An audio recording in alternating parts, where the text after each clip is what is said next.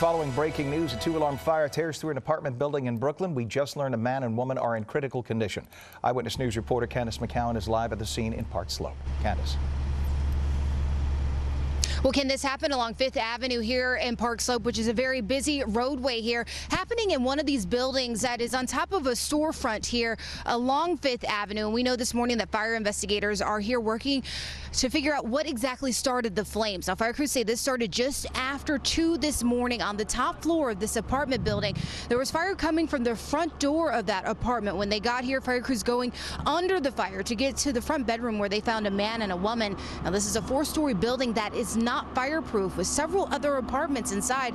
The people in those other units saying that fire alarms went off, alerting them to get out of the building. But for the two people in that apartment where the fire was, fire crews saying that they are in pretty bad shape this morning. One of them is a 22 year old woman in critical condition. The other is a man who is fighting for his life. It looks like smoke inhalation, heavy smoke in the front of the apartment, heavy heat in the front of the apartment.